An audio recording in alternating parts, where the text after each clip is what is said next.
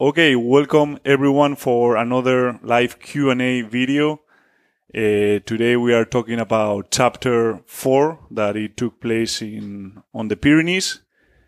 And first of all, thanks everyone for for joining on on Instagram. All your comments will be on the video that we will be posting on YouTube in the next couple of, of days. And we're going to talk today about some lessons learned on chapter 4. Also, we're going to be giving away the giveaway from the previous chapter, which was a Sauer knife. And we will be announcing the next giveaway that I'll, I'll talk about it in, in a bit. And also we will be answering some of the questions that you guys have been sending us through social media and also on the comments on, on YouTube. So chapter four took place on the Pyrenees. That's the northern part of Spain on, on the border with, with France.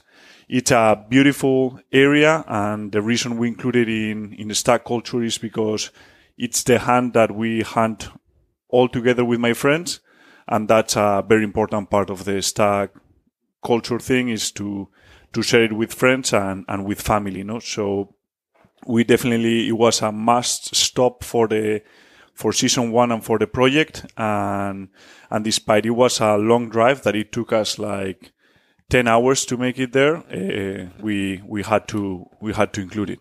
It's true that we were missing a couple of friends this year because of the covid restrictions and one of them was Fernando, which you will see, you, you have seen him on, on the series because he lives actually in the middle of kind of on our road trip. So he was helping us a lot uh, with the logistics, taking care of the meat and, and everything. So huge thanks for Fernando for helping us logistic wise. And it was a pity to, that he was not able to, to make it there. And regarding the Pyrenees, it's a tough, tough area to hunt, not because of the terrain. I mean, it's uh, the Pyrenees, it's mountains, but it's not the very steep alpine country that the, the people know the Pyrenees for. But uh, it's tough because of the terrain. It's very thick forest, so it's really hard to stock the game. And that time of the year, the ground is very dry and it's really hard to see them. And it's also an area that the quality isn't great. Like we have been hunting for a few seasons there and the quality of the stags are not anything comparable with the other areas that we have been hunting. But still the purpose of that trip was to hunt with, with our friends. And what we found when we arrived there was a super quiet valley. Like last year, there were, there were stags roaring all over and still we had a really tough hunt and I wasn't able to shoot one. Arturo wasn't able to shoot his stag either. So it was really tough conditions. But this year, when we arrived and we couldn't hear any single roar at night, I was like, we are going to be in trouble. And we learned several things during this chapter, several lessons that I wanted to, to share with you guys. And the first of, of all, it's never lay in bed. Like no matter how tired you are, you are never gonna kill a stag from your bed. So we arrive, I think, after three hunts, we arrived there at three or one in the morning, and we end up being uh, in, in, inside the tents by three in the after at night or in the morning. So despite that, no one wanted to really wake up. We woke up with only three or four hours of sleep destroy you can tell, tell on our faces, but that made made the whole difference, and we were able to har- to harvest the biggest stag that I have ever seen in that area. It's true that I don't know if it was because I was pretty sleepy or because it was the first hour of the first morning of of of the hunt in that place. That it also it's another lesson. It's just like whenever you get a good opportunity, take it, and no matter if it's the first day if it's an opportunity that you will shoot on the last day of the hunt, take it because it may be the only opportunity that you get. And it was super early on the hunt, and still uh, we took the opportunity. I had my doubts, and I told the slots media guys, "It's like." I'm not sure if I want to shoot this stag. It's very early and this and that. And they both look at me and it's like, are you freaking kidding? I mean, we have the stag on frame. Uh, there is no single roars. Uh, we have it everything. We are filming, and it's a great stag. you need to shoot it. And thanks God they they t- said that because uh, I could have probably uh, wasted the opportunity that we were gonna get on that trip, and we were able to shoot that stack 300 meters. The shot was beautiful, and the I don't know if it was because of the weather conditions or the light or something, but you could really see the bullet fly into the stack, and it's uh, it turned out to work perfectly. It's true that the pack out was a nightmare. Another lesson that we learned is that you have to be prepared always that you may be successful. I wasn't expecting to hunt on that first morning a stag, so I didn't brought the meat bags. I didn't brought any anything. Uh, these guy, uh, these lodge media guys didn't have room on their pack, so we were definitely not expecting to to shoot a stag, and that made it a complete nightmare. The boots that we were wearing were super light to don't make noise on such a dry ground. So we also didn't know another lesson. Learn your area because we thought that there was a road down below us and we lost a lot of altitude thinking that we are going to get straight to a road and then we were able to drive the car there. But it turned out that the road down there wasn't connected to the one we had the car. So there was no way to, to get there and we end up doing a painful one hour or two hour pack out of that stag that that no one by the way came help. So that's that's another lesson. Pick your friends. No and choose your enemies. Mm, what else about the trip? Uh, on the afternoon, uh, instead of just moving to the next location, since our our main objective of that trip was to share time with our friends, we decided to stay the afternoon, kind of relax, um, uh, go with Arturo to help him out. Jack was by that time pretty sick. He had been with some some kind of cold or something during the whole trip, and you may hear him coughing a bunch of times during the during the series, and and he decided to to rest on camp while we went to help Arturo. And the afternoon was uh, it. We, we didn't record it properly, but Arturo almost killed us that afternoon. I mean, my car alarm went off twice because it turns out that the Toyotas have like a security alarm that if, if they detect any movement on inside the car, it just goes off. And with the flies that we had inside the car because of all the blood that probably was inside the car the alarm was started kept going off uh, very easily until the point that we it sounded twice and just ruined the whole afternoon.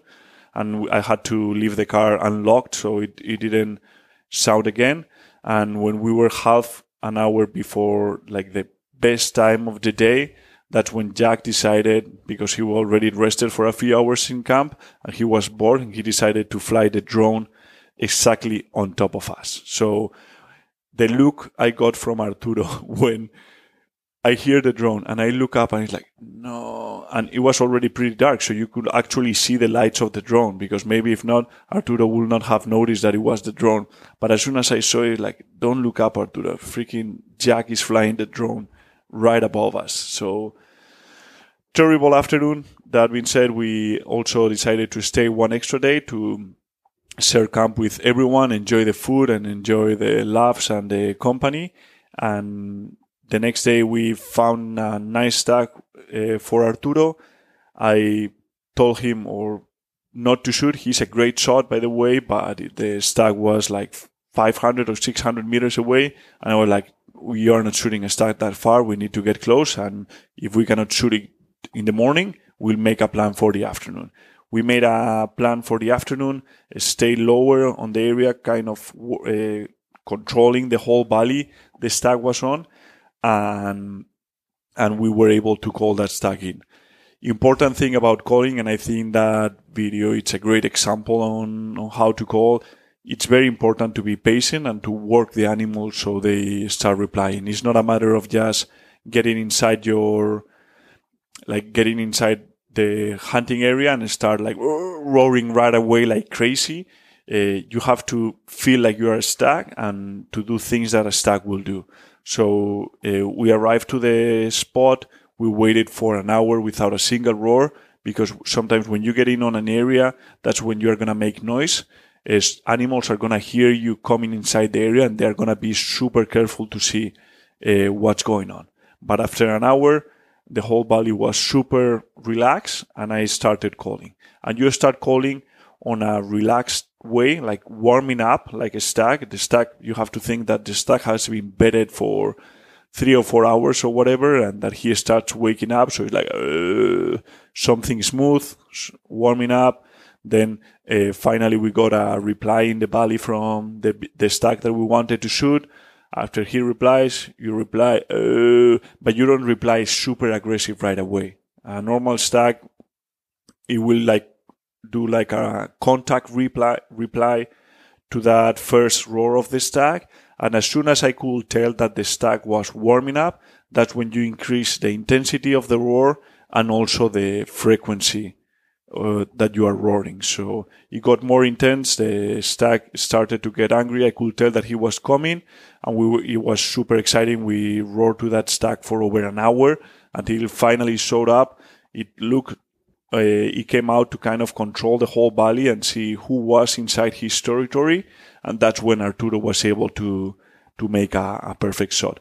And one of the things I love about this episode is that it truly shows that hunting is not just shooting or pulling the trigger or shooting the animal.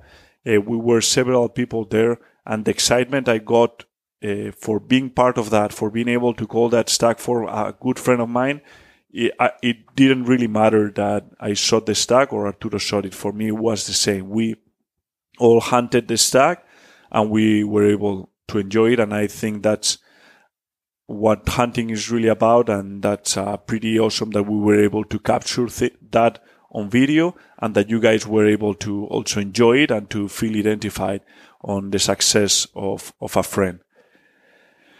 And it was super lucky two year achievement. Last year, eh, neither of us uh, got a chance to shoot a stack, and we in two days we connected on two great stacks, and I was super stoked. We went to camp, eat, and start driving that night straight to to Leon, which is gonna be the next chapter, chapter five, which can't wait to share it because it's pretty awesome. And that being said, that's the the things I wanted to share about the behind the scenes or whatever that I wanted to share with you guys about chapter four in the Pyrenees with my friends. And we had some questions to, to answer. So, so quad for GTC, what's your opinion on thermal shooting for hunting and for recovering? So thermal, the use of thermal. So I think in the US it's completely legal, but in, in Europe they are gaining and they are getting more and more popular. I think as with every all the technology, um, it's good if you use it for the right purpose, but it can be bad if you use it for the wrong one. I think it's a great tool to control animals, to check uh, like populations and recover game and doing analysis. But I think for hunting, you don't really, you don't really need it. And if you use it wrong, it can provide a huge advantage uh, towards the animal, and it can unbalance what we uh, what we are trying to do, which is having a equal uh, challenge or looking for the challenge with those stags. So, Alex Alda, what's the altitude of the hunting area in the Pyrenees? Mm, I'm not sure. I think it was like 1,500. So it's the Pyrenees, but it's the base part of the Pyrenees. Also, quad for GTC family recipes. So recipes uh, for stags for cooking. I like to keep it simple. I think it's super important how you take care of the meat uh, until the moment that you cook it. That way, it, it will not have that gamey flavor. So I like to uh, take good care of the meat, let it cool down, freeze it, uh, let it defreeze slowly on the on the fridge or the freezer. I always mix up fridge. both words. No, freezer is congelado. Yeah, so uh, and and I like to keep it simple and and barbecue it or fry it uh, hot on the outside, but keep it uh, pretty red on the inside. And but that's a good good idea to do a behind the scenes probably with a few recipes. Can you post the words for your song? Of your song? So the words for Butardol, the song I sing with my dad, uh, I, I'll try to put them on on a post or probably on the comments of on the description of this video b- video, so you can see it below.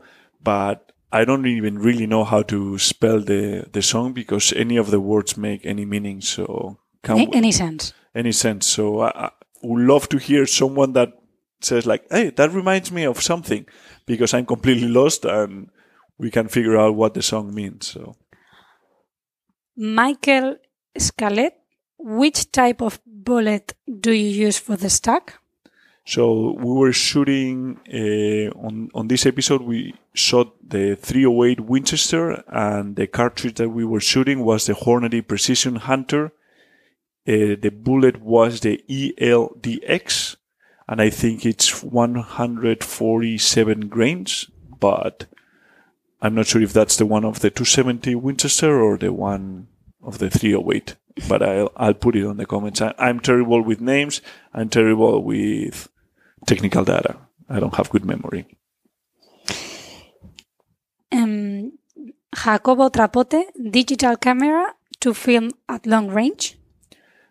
In this episode, and I think except the one on, I think the one on Gredos uh, that we used the Nikon. And on this episode, the shot was filmed with the Sony 7 Alpha, and the lens was a 400 mil with uh, millimeters with a doubler. So I think it was turned out to be an 800, and the quality of that shot, I mean, on, on my shot was amazing. You could even tell the bullet that was flying, but and on the one with Arturo, the light was a bit short for for like a great quality, but it's a good option for rifle hunts. HOCH, which is online right now. Do you practice the calling at home? I do practice the calling, but not at home because you can, your family can drive crazy. I think a great, ta- a great place to practice the calling is while driving. Uh, no one or inside the car, no one hears you, and and I think it's a. I, do have a friend that once the police officer knock on, on the window is like, "What the hell are you doing? Can you explain me what the hell are you doing inside the car?" But I think it's a great place to to practice. Piti Gonzalez, is it possible to book hunts on any of the areas you hunted, or is it all private grounds from the, from your friends? So a bit a mix of everything. So the there are some hunts that are commercial that anyone could uh, contact the outfitters, and we typically mention the on the description on the videos. We typically mention if there was an outfitter who was it, so you can contact them if interested.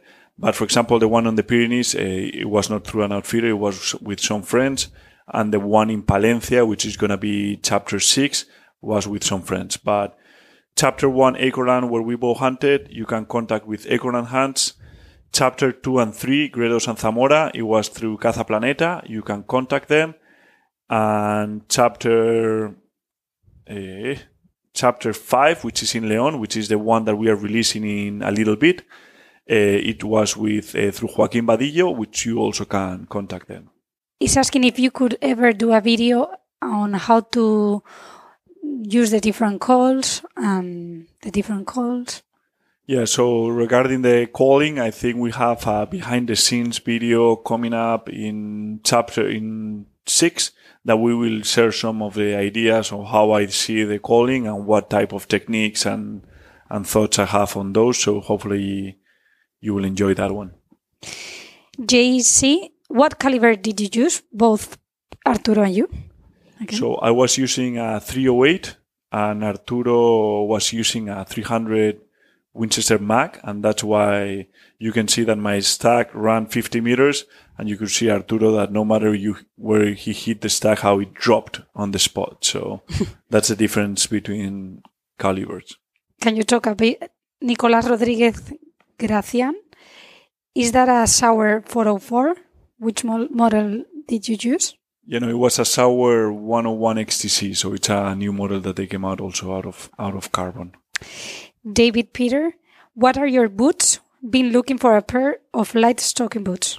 So the boots are called. I think I have the link on on the first episode. Are from Vivobarefoot. So it's a company out of the UK, I think, that they make like barefoot less type of boots, and they are super flat and super nice, and they are not noisy at all, but they are terrible for packing out game.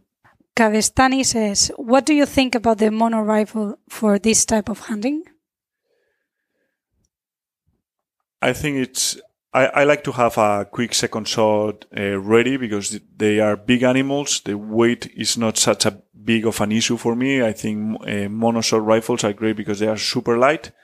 But I like to have a second bullet, and if I, by any chance, I make a bad shot, to be able to follow up with a second shot as quick as possible and and and and get the animal down as quick as possible.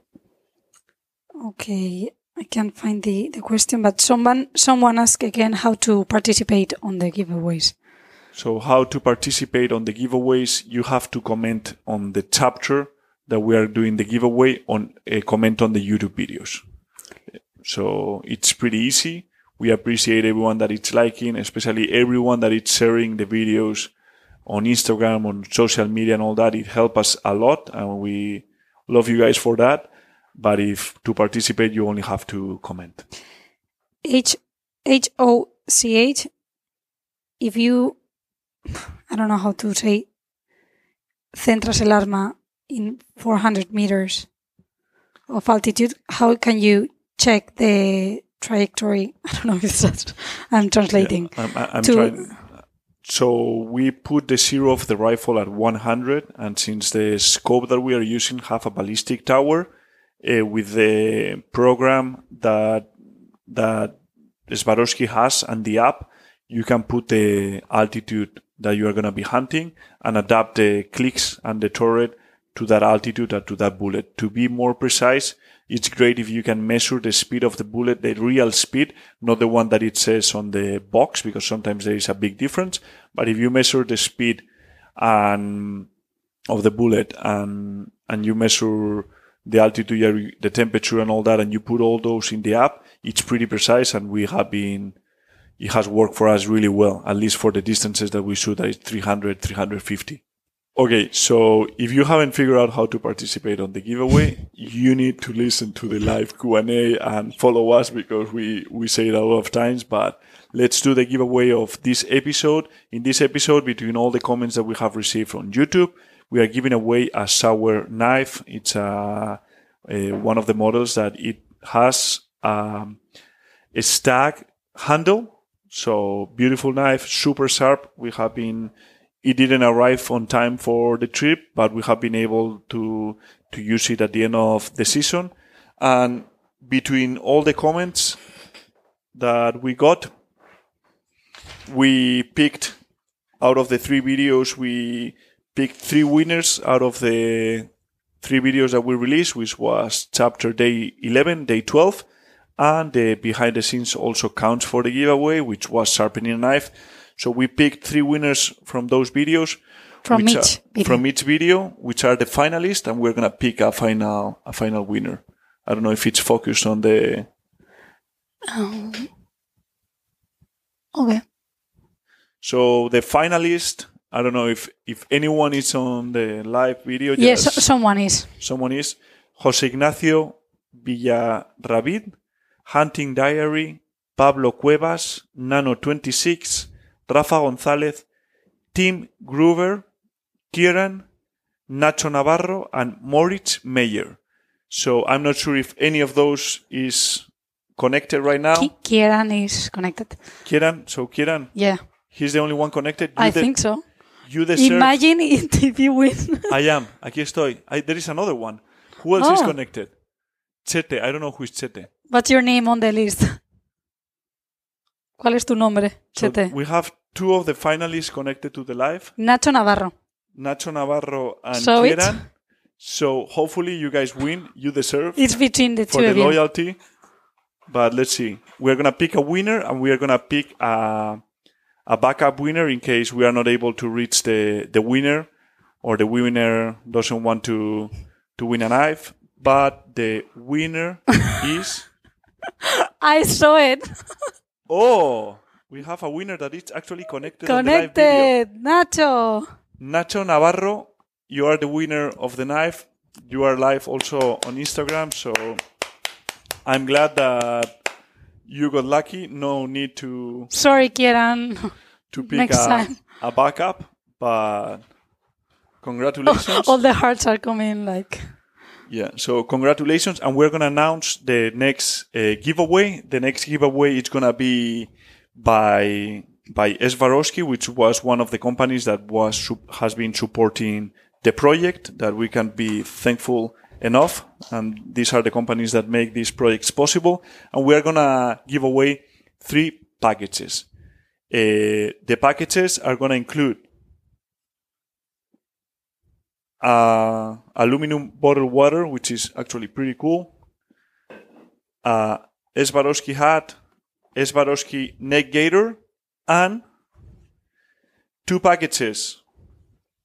Two two winners are gonna get a backpack from Swarovski, and the other winner is gonna get an Swarovski foldable knife, which is here. So three winners. Each winner is gonna get a package that is gonna be either a knife or a backpack.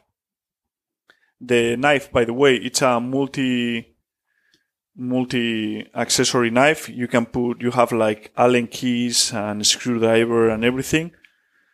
I would love to show you how it's used, but I'm not I haven't played with it before, so I, I don't want to cut myself. But yeah, it has a multi tool. You can add here some of the wrenches and it's a pretty cool uh, multi-tool knife. So three winners. Each winner is gonna two winners are gonna have a backpack. The other one is gonna have the the knife, and all of them are gonna have a hat, a neck gaiter, and a water bottle. That it's also actually it's a pretty cool water bottle. So That Pedro wants it.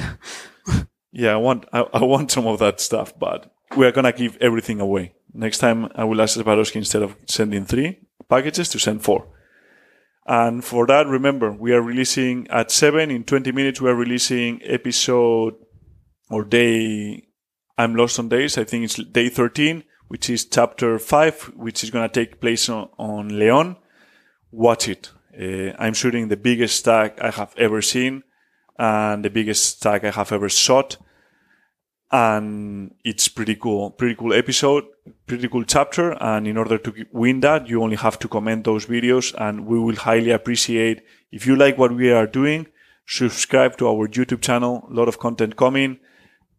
Thumbs up comment like and share the content because that means the world to us and we are glad you are enjoying stack culture. So thanks for joining another live q&a and uh, see you guys in two weeks or in I will put it on the description. I'm not sure when is the next live Q&A, but it will at the end of the chapter of Leon. So thanks everyone for, for joining and we highly appreciate your, your support.